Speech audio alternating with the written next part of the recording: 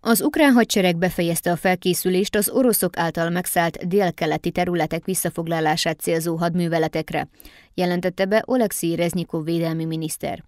Ukrajna már megkapta a nyugati szövetségesek által beígért katonai szállítmányokat, köztük a harci járműveket is. A szállítmányokkal Ukrajna tavaszi ellentámadását támogatja a nyugat, amely egyes amerikai tisztviselők szerint májusban kezdődhet. Ugyanakkor Hanna Maller, ukrán védelmi miniszter helyettes szerint Kelet-Ukrajnában már folyamatban vannak az ellentámadás részét képező hadműveletek. Az ukrán védelmi minisztérium kiemelte, hogy az ellentámadást nem szabad konkrét időpontokra és intézkedésekre szűkíteni, ez egy átfogó, több etapból álló hadművelet.